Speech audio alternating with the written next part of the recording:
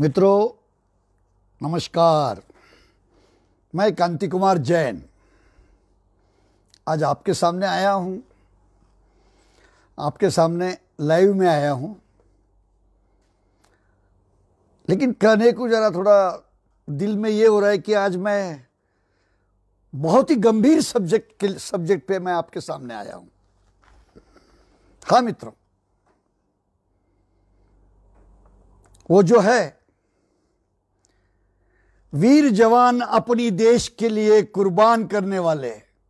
मित्रों, वीर जवान अपने देश के लिए कुर्बान करने वाले बड़े बड़े महायुद्ध से लेके युद्ध तक जीतने वाले, बड़े युद्ध से लेके महायुद्ध तक जीतने वाले। दोस्तों, आज हम सरहद पर जो लड़ते हैं, सरहद पर जो लड़ते हैं मैं उन जवानों की बात नहीं कर रहा हूँ आपके सामने। लेकिन आज मैं जो आपके सामने जो बात कर रहा हूँ, जो हमारे वायरस के साथ लड़ते हैं, पूरे हिंदुस्तान की रक्षा करने के लिए जो आज दिन रात बत्तीस बत्तीस घंटा जो हॉस्पिटल में काम कर रहे हैं, ऐसे डॉक्टर, नर्सेस, मेडिकल स्टाफ, जिन्हें मैं एक सोल्जर कहूँगा ऐसे सोल्जर को मेरा, ऐसे डॉक्टर नर्सेस बहना, पूरे स्टाफ को मेरा त्रिवार सैल्यूट है, नमस्कार है, प्रणाम है। हाँ दोस्तों, क्या चल रहा है अभी? जान की परवाह न करते हुए हमारे डॉक्टर जो नए नए डॉक्टर है, पुराने डॉक्टर तो है ही है। वो मुरब्बी डॉक्टर तो है। लेकिन जो अभी अभी अभी अभी नए नए एमबीबीएस में से निकले हैं, जो साल साल भर, एक एक साल का ट्रेनिंग उनका जो रहता है, सब, सभी लगे हैं। उनके घर वाले उधर परेशान हैं। अरे बाबा, जरा तुम संभाल के करो। आज उनके लिए ही मैं आज आपके सामने आया हूँ। दोस्तों ये सरकारें बड़ी बात करती है। चाहे वो चाहे वो केंद्र सरकार रहो, या हमारे राज्य की, महाराष्ट्र की सरकार रहो, या देश में की कोई भी स्टेट की सरकार रहे। दोस्तों, जनता के ऊपर में, आम जनता के ऊपर मेडिकल इलाज के लिए सरकार खर्चा करती है, यह आपको पता है या नहीं? आप उस पर जरा थोड़ा सा स्टडी कीजिए। थोड़ा दिल थाम के बैठिए। दिल थाम के बैठिए। मैं क्यों बोल रहा हूँ? क्योंकि सरकार कितना ज़्यादा खर्चा करती है, आप सोच भी नहीं सकते हो। हाँ। फिर भी आपको लगता होगा कि सरकार इतना खर्चा करती है, फिर भी हमें तो हमारे जेब से ही खर्चा करना पड़ता है। क्योंकि सरकार को क्या हमारी बहुत चिंता है? किधर की भी सरकार रहो, बहुत पब्लिक के ऊपर सरकार है ना। इसलिए दोस्तों, पहले पहले सरकार एक आदमी के ऊपर में डेढ़ रुपया खर्चा करती थी। वन रुपीज़ फिफ्टी पैसा मराठी मराठीमध्ये दीड रुपया बाद में दो रुपये. और आज आज तीन रुपया है. ये तीन रुपया प्रति व्यक्ति only one single person three rupees दोस्तों, ये तीन रुपया, आपको क्या लगता है? प्रतिदिन प्रति दिवस के लिए? नहीं। एक महीना? ना। तीन महीना? नहीं। छ महीना? नहीं। फिर? तीन रुपया का खर्चा यह सरकार एक साल के लिए खर्चा करती है। दोस्तों, सुन लीजिए, सिर्फ़ ओनली वन सिंगल पर्सन एक आदमी के लिए यह सरकार तीन रुपया देती है। कितनी बड़ी मेहरबानी करती है यह सरकार। और हम ऐसे सरकार को धन्यवाद माए बाप, यही बोलेंगे। तीन रुपया। और यही ने आम आदमी की, आम आदमी की औकात, आम आदमी की कीमत। उनके सामने क्या है? तीन रुपया है दोस्तों, तीन रुपया। हमारी कोई हमारी कोई अहमियत नहीं, कोई कीमत नहीं। एक कीड़ो मकड़ों की तरह इस दुनिया, ये, इस सरकार के, सरकार हमारे को कीड़ो मकड़ों की तरह देखती है। वोट लेने के लिए बराबर हाथ जोड़ती है और तीन रुपया एक आदमी के लिए तीन रुपया देती है। पहले तो डेढ़ रुपया देती थी, अब तीन रुपया देती है। हा दोस्तों और यही यही नेता MLA MPs minister, central minister, prime minister, इनके लिए इनके लिए तो तुम कहीं भी जाओ। अरे इंडिया के बड़े हॉस्पिटल तो छोड़िए, इनके लिए तो आउट ऑफ़ इंडिया के हॉस्पिटल भी बड़े बड़े पड़े हैं। चाहे करोड़ों रुपया खर्चा हो जाए, उनके लिए सब है। हमारे लिए तो कुछ भी नहीं है। दोस्तों, सुनने जैसा किस्सा है, अभी तक भी आपको ये पता नहीं होगा कि पर पर्सन तीन रुपया मिलता है। सोचिए, समझिए, इलेक्शन के टाइम में ये हमारे को कुछ तो भी दिखाते हैं। कई चंद रुपया दिखाते हैं, कई दिखाते हैं, कई जी, हाजी हाजी करते हैं। और बाद में हम, तुम देखो, तीन रुपए के ऊपर में, एक साल में तीन रुपया तुम देते हो। हमारे एक मत, वोटिंग पे तुम खुर्ची पे बैठते हो और हमें तीन रुपया देते हो। ये हमसे खेल नहीं है दोस्तों। बताइए आप। दोस्तों, अभी दूसरी बात मैं एक बताता हूँ। हिंदुस्तान में से, हिंदुस्तान में चार डॉक्टर चार डॉक्टर में, चार डॉक्टर में से तीन डॉक्टर किसी न किसी किसी न किसी प्रकार के वायलेंस मतलब हिंसा हिंसा के शिकार हो चुके हैं। इसका मतलब है, जितने डॉक्टर है, उसमें से 75 परसेंट डॉक्टर वायलेंस हिंसा के शिकार हुए ही हुए हैं। वापिस इन डॉक्टर के दिल में हमेशा एक डर रहता है। क्या पता कहीं अपने से कुछ हो जाए कहीं थोड़ा सा कुछ हो जाए, कम ज़्यादा हो जाए तो डॉक्टर के हाथ से मर गया है, कोई वार ना करे, कोई मार ना डाले।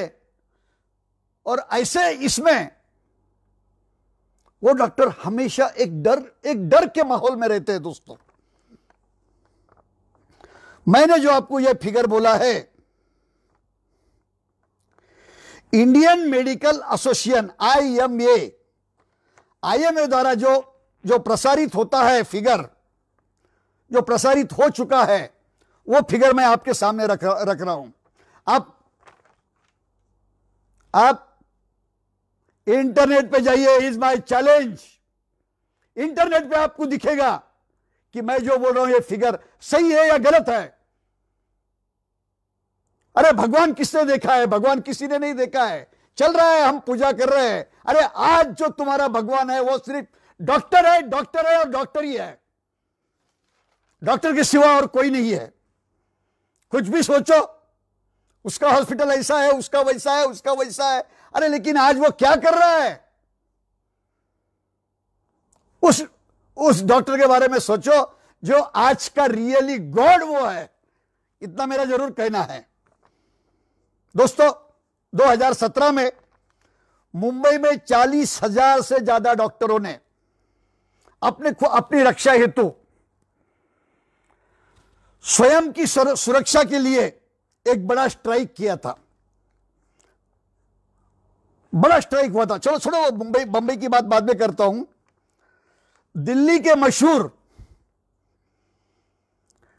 एम्स इस संस्था में दो साल में 40 से ज़्यादा डॉक्टरों पर विविध प्रकार की हिंसा हो चुकी है। देख लीजिए, ये फिगर आपके सब पूरे समझ में आ जाएँगे। दोस्तों, वैसा ही गो, गोकी के डेटा के अनुसार, मैं क्या बोल रहा हूँ मित्रों, आप गौर की, गौर गौर फरमाइए। गोको की डेटा के अनुसार हिंदुस्तान में हम, आप सभी भारतीयों में से मैं हूँ, आप है, जो भी कोई देखने वाले है या जो भी अपनी जनता है। इन दुनिया दोस्त, दोस्तों, इन जनता में से 92 परसेंट लोगों का, इन डॉक्टरों के ऊपर में भरोसा नहीं है। इस बात पे भी मेरी शर्त है। वो अक्षय कुमार कुछ कहता है, उस पर भरोसा है। रामदेव बाबा भगवान है, रामदेव बाबा पे भी भरोसा है। लेकिन जो डॉक्टर कहता है, डॉक्टर पे भरोसा नहीं है दोस्तों।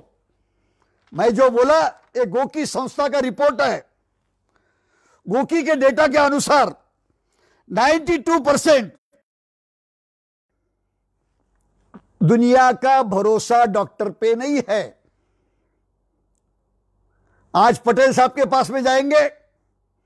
कोई तो भी बोलता है, पटेल साहब से नहीं है, वो उनके पास जाइए, वो बाबा के पास जाइए, वो महाराज के पास जाइए। अरे जो डॉक्टर तुम्हारा तुम्हारा दर्द समझता है, सब कुछ समझता है तो आपके लिए खड़ा है। आपका उनके ऊपर में भरोसा नहीं है। आज डॉक्टर की संख्या कितनी है दोस्तों? वन थाउज़ेंड सिक्स हंड्रेड सोलह सौ डॉक्टर, सोलह सौ सोलह सौ मरीज़। माफ़ कीजिए, सोलह सौ मरीज़ पे दो डॉक्टर। अरे क्या है क्या? गवर्नमेंट क्या कर रही है? मोदी जी, इस पे, इस यह देखिए। आज आए, लॉकडाउन आप बोल देते हो। Lockdown lockdown. दुनिया ने लॉकडाउन पकड़ लिया है। लोगों के दिमाग में डर डर सा डर सी बात हो गई है। मेरा तो यह कहना है ये तो नोटबंदी जैसी बात हो गई थी। मोदी जी आपका काम मुझे अच्छा लगता है जो मैं अच्छा ही बोल, बोलूँगा। लेकिन जहाँ लगता है वो वो बात मैं बता रहा हूँ आज। क्योंकि मैं दूसरे पत्रकारों के जैसा नहीं हूँ। जो रियल फैक्ट है मैं वही बताऊँगा मैं आपके सामने। आपने नोटबंदी कर दिया आठ बजे। नोटबंदी करने के बाद में सब दुनिया दुनिया में एक दहशत हो गई, डर हो गया। अरे, नोट नोट बंद हो गई। हज़ार की नोट गई, पाँच सौ की नोट गई। लॉकडाउन हो गया। वही आप अगर कभी मिनिमम टेन डेज़ का मौका देते थे, लोग किराना सामान भी लाके रखते थे। जिसको कोई जाना है, वो जाते थे। जो पैदल जाने से जैसी मौतें हो गई है। आज ट्रेनें क्यों चालू हो गई है मित्रों? मैं खुलेआम पूछ रहा हूँ, ये जो ट्रेन चालू हुई है, जो मेरा वतन है, जो मेरा गाँव है, औरंगाबाद सोलह लोगों की मौत हुई है दोस्तों, सोलह लोगों की। सोलह लोगों की मौत के बाद में इन सरकारों की आँखें खुली है। दोस्तों सोलह में से तो चार लोगों के पीछे सिर्फ़, अब अभी एक एक बच्चा भी नहीं है, सिर्फ़ लड़की है। थोड़ा सोचिए। वो सोलह लोगों की जो वो प्रेत है, उनका जो शव है, शव ले जाने के लिए बराबर ट्रेन अगर अगर वो वही आप पहले से कुछ करते तो जब हमने आँखों से देखा है, आँखों से देखा है, उसलिए तन मन में आग लगी है। अगर ऐसा कोई हादसा एक आधे बड़े के साथ होता तो क्या होता था दोस्तों? आज मुझे एक ही कहना है कि आज मेरा जो सब्जेक्ट है, डॉक्टर डॉक्टर को, डॉक्टर, नर्सेस, स्टाफ को आप मटेरियल दीजिए। मंगवाइए। उसके अंदर में गड़बड़ घोटाला बाजू में रखिए अरे लोग मर रहे हैं। कि इसमें भी परसेंटेज कितना मिलेगा, क्या मिलेगा, ये तुम ये तुम साइड में रखिए। अभी क्या हाल चल रहा है? 2018 के रिसर्च के हिसाब से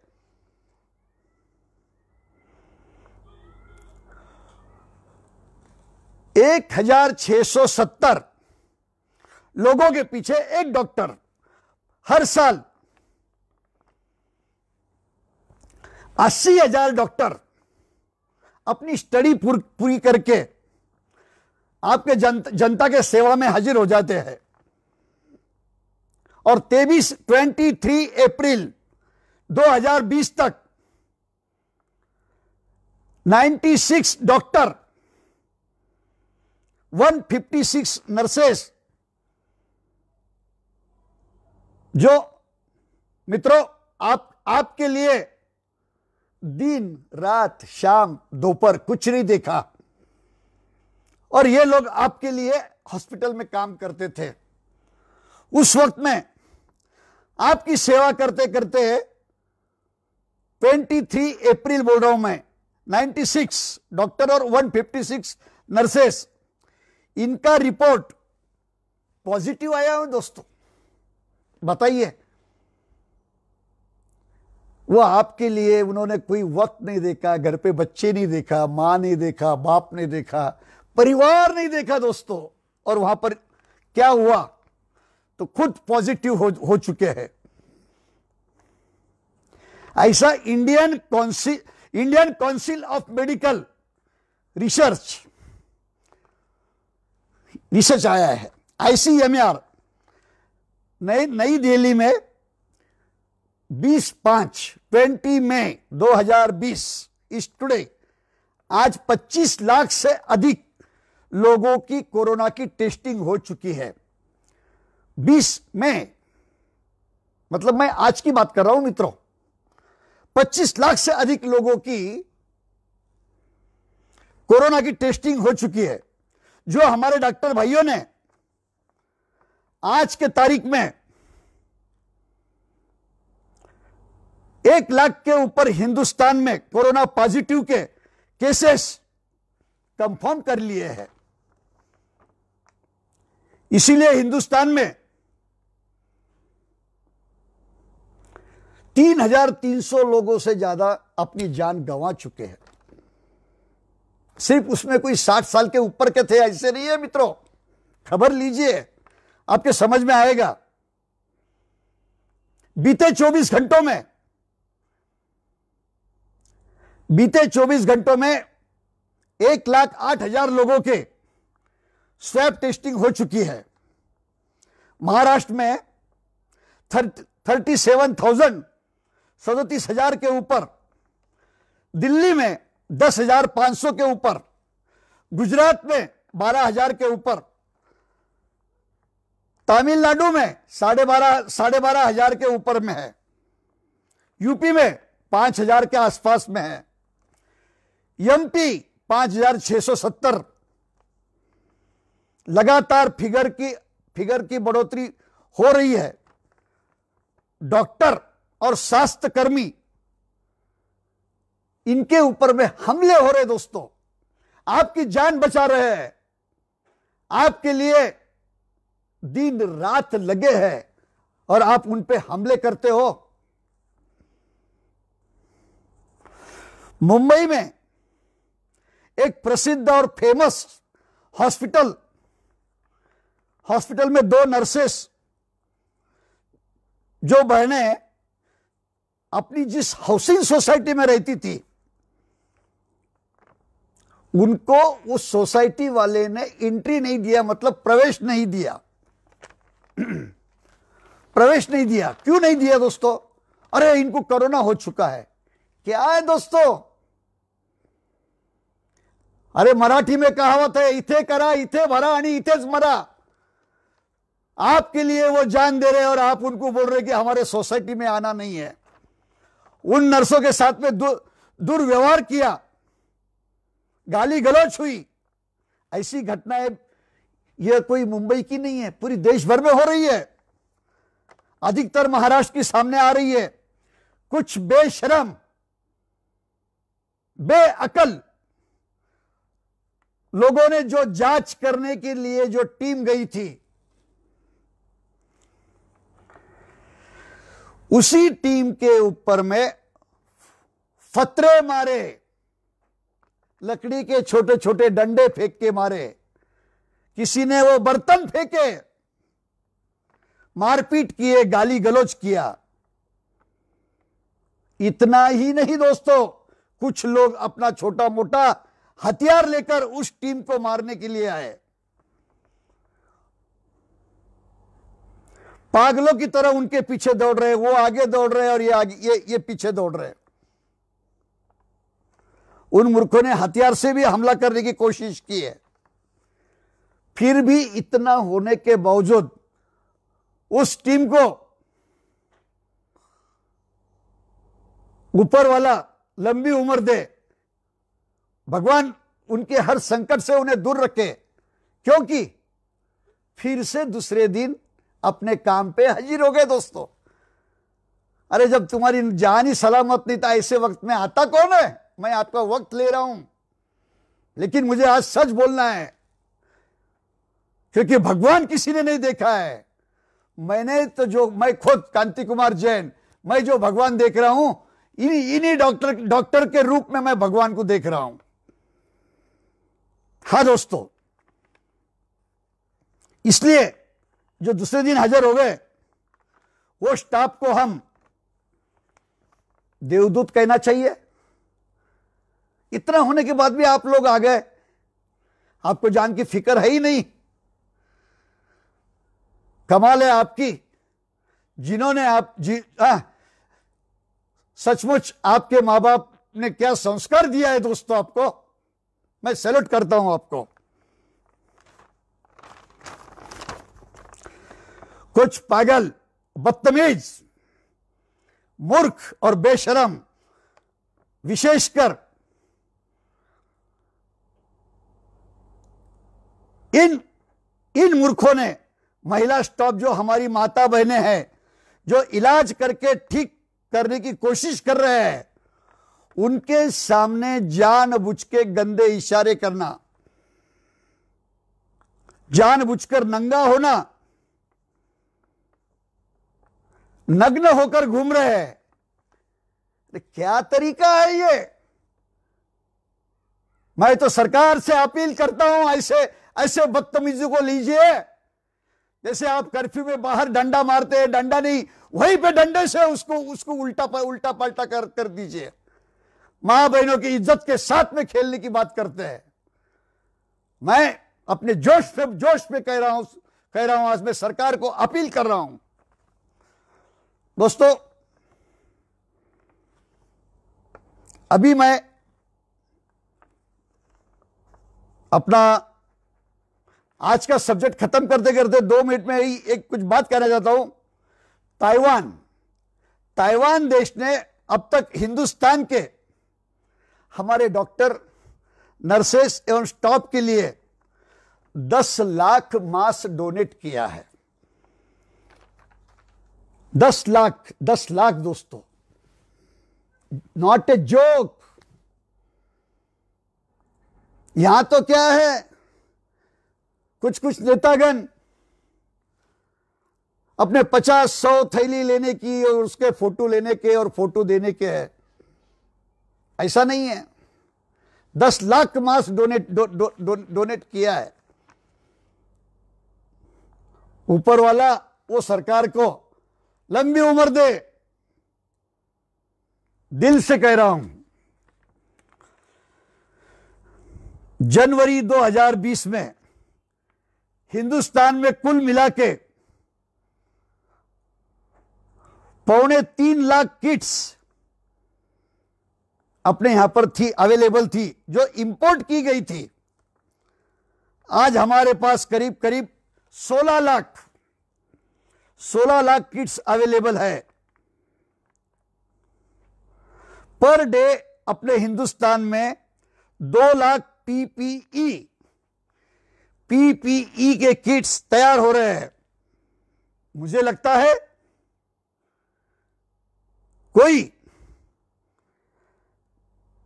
जो भी कोई किट्स है, जिससे डॉक्टर स्टॉप ये इनको मिल सके। आज एक किट्स की सख्त ज़रूरत है, लेकिन इसके अंदर भी सरकार तो करने को तैयार है। कुछ अफसर कुछ अधिकारी वर्ग। अरे लोग मर रहे हैं। लोग आज कौन से स्टेज पे है? अरे वो तो देखो, जिसे मराठी में कहते हैं की मेलेल्या मुर्द्याच्या टाळूवरचं लोणी खाण्या खाण्यासाठी काही लोक बसलेले आहेत। अरे ये छोड़ो, खाली हाथ और खाली हाथ जाने वाले हैं। मित्रों मैं आज आपसे दोनों हाथ जोड़ के एक विनती करता हूँ। मंदिर तो बंद है, सब कुछ बंद है, गुरुद्वारा बंद है, सब, सभी बंद है। वहाँ जाके पैसे डालने के बजाय सरकार ने कुछ ऐसा, ऐसे आपने वो पैसे जमा कीजिए और वही पैसों से हर गाँव गाँव में एक एक हॉस्पिटल के लिए अपना हेल्प दीजिए। क्योंकि यही हॉस्पिटल हमारे परिवार, हमारे हमारे भाईजन, परिवारजन, रिश्ते वाले, उनको आगे चल के काम आने वाला है। मुझे किसी सरकार के बारे में नहीं बोलना है। एक लाख करोड़ और डेढ़ लाख करोड़, और वो ट्रेन ट्रेन जा रही है। एक ट्रेन से हमारा कुछ नहीं होता है। आज अगर हॉस्पिटल हमारे होते तो आज ये वक्त नहीं आता था। वक्त नहीं आता था। बस मुझे इतना ही कहना चाहता हूँ। मैं जो बोल रहा हूँ मेरी अंतर भावना से बोल रहा हूँ। मैं किसी का किसी एक पार्टी का नहीं हूँ। मैं सच्चाई जो है मैं सच्चाई से सच्चाई आप, आपके सामने रख रहा हूँ। आज दुनिया के लिए भगवान सिर्फ़ डॉक्टर है। दोस्तों इन डॉक्टर के साथ में खिलवाड़ मत कीजिए। ऊपर वाला देखता है देर है, लेकिन अंधेर नहीं है। बस इतना ही कहना चाहूँगा, और मैं सरकार से गुजारिश करता हूँ कि इनको जल्द से जल्द, जितना भी जो इनको जो इनको जो किट्स लगते हैं, वो किट्स दीजिए। अगर डॉक्टर सेफ़ है तो हम सेफ़ है। बस इतना बोल के मैं विराम करता हूँ। धन्यवाद। नमस्कार।